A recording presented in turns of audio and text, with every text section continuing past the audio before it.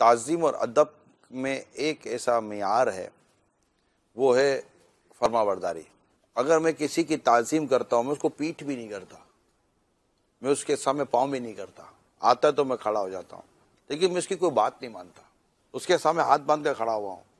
मगर वो कहे कि ये करो तो मैं कर नहीं रहा हूँ, बल्कि उसको उल्टा कर रहा हूँ। ये गौर करने की चीज़ है। तो बुनियादी चीज़ जो है ना, वो फर्मा बरदारी है। फर्मा एक खुद बहुत बड़ा एहतराम है। समीना व ताना जिसको कहते हैं ना, सुनना है और मानना है। ये बहुत बड़ी तोकीर है।